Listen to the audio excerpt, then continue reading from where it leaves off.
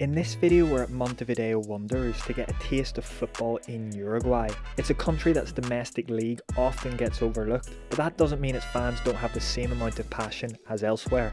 Es mi vida, oh, no puedo definirlo de, de otra manera. We'll be risking our lives in the makeshift stands, watching police escort the refs onto the pitch and even some cracking goals. So join me in this video as we take a trip across from Buenos Aires to Montevideo to have a look at what a game is like in Uruguay. First up, a quick background on the team. Now the team was actually founded way back in 1902 and as you probably already noted, they don't exactly have a South American sounding name. We'll go a bit more into that when I'm actually in the stadium itself. Historically, they've won the Uruguayan Premier Division on three occasions, but haven't achieved that feat since way back in 1931. It's a modest history that can be seen in its stadium named the Estadio Alfredo Victor Viera, where they'll be playing in this video against Club Atletico Cerro. So let's head down there and check it out.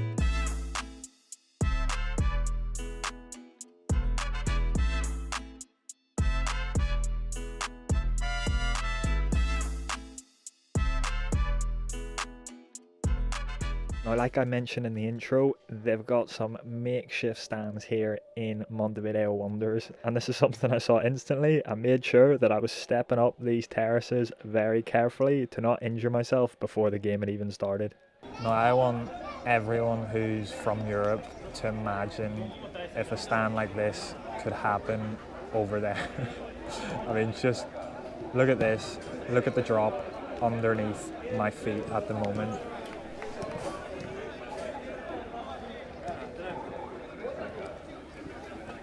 Like that's that's you know if you fell from that height, uh, you wouldn't end up well.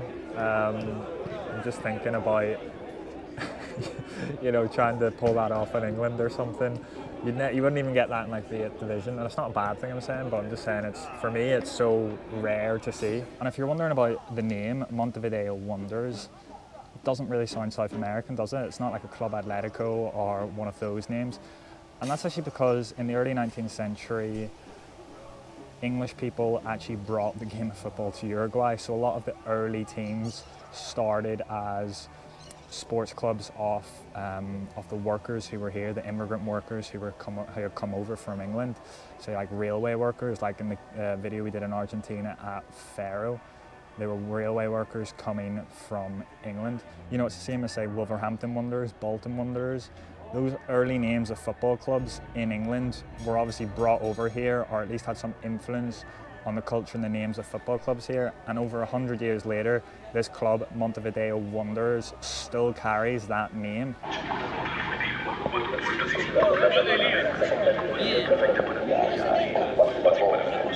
So it's obviously very chill here because I just asked the lads if I could come and film their flags and like that. Already pitch side. It's that easy in Uruguay. This is the Premier League as well, so imagine doing that in other countries, like even in Argentina you couldn't do that. But it does seem very much like a community-based club from what I'm seeing so far. You know, everyone knows each other. Uh, me showing up, everyone's like a bit, this is a bit random that there's just an Irish guy here at the match. Someone's actually got an Ireland uh, jacket on at the other side, but I haven't asked them about that yet.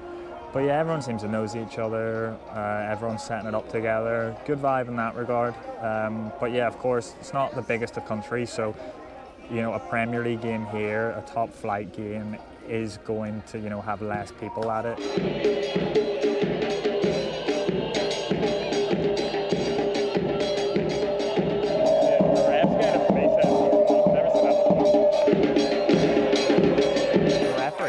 I haven't seen that before either. Uh, referees are on the pitch now, but fair enough. I think the other team are actually coming up from the other side as well. I don't know what rules they have here, but fair enough.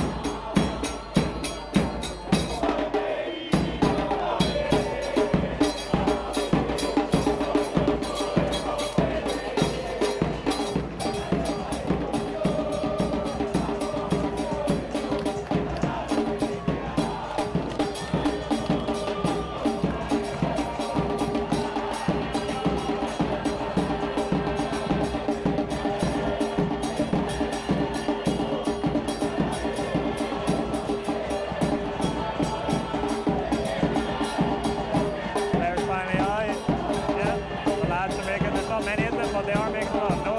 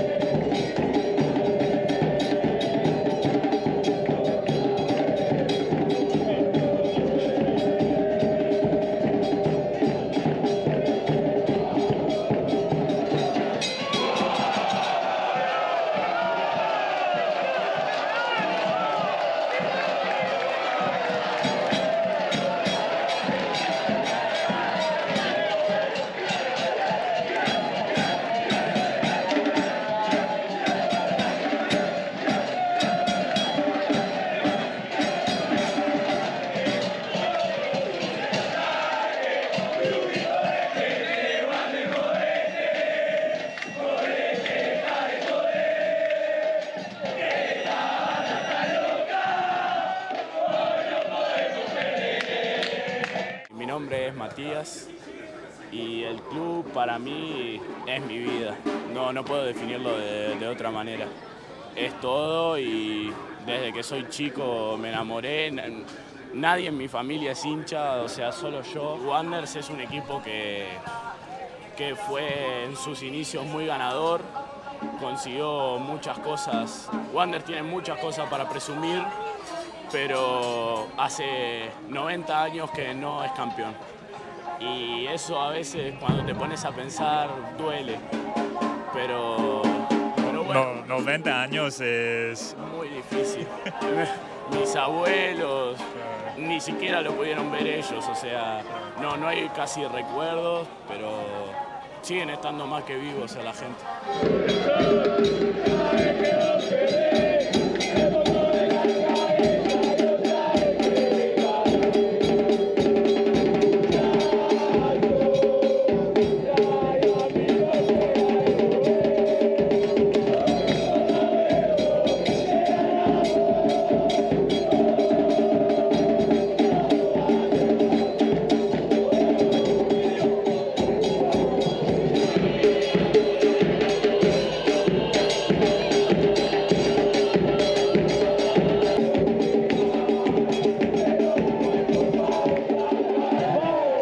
One thing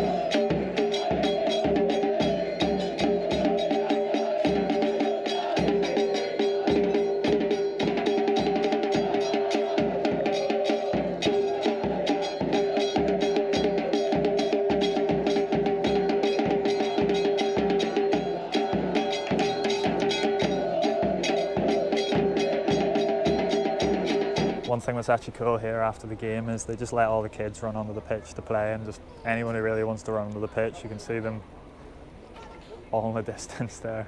So that's what I like, a community club that lets, you know, they obviously care if the pitch is important as such, but to let kids go out and just have fun after the match and watch essentially where their heroes are playing, yeah, it's such a nice touch. You know, if you want to just have a little look at the pitch, you could essentially just walk on like this after the game and you know, you don't get this in other countries. You know, it might be a smaller top division of a country, but you don't get people, you know, taking photos on the pitch after the game.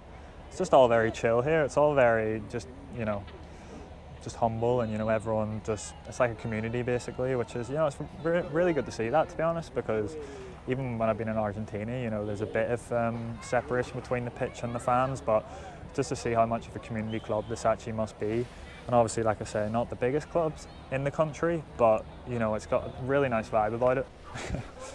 well, I think one person was a bit annoyed about that, to be honest. One woman came over and told everyone to get off, but Uh, yeah, that's been basically an experience of what a game's like in Uruguay. Obviously, like I say, not the biggest club, but yeah, great, great atmosphere here. You know, the one thing I love is that these lads know they're not the big in the biggest amount of numbers as such. They know they don't have the biggest amount of numbers, but that doesn't stop them. They still have a band. They still try and get behind the team. So you know, it shows you it doesn't matter what numbers you have. If you support your team, if you love your team, you always got to get behind them.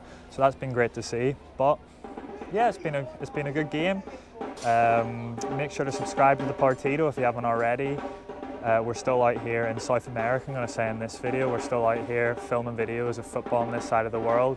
So make sure to subscribe to the Partido, share this video, and nos vemos in the next video.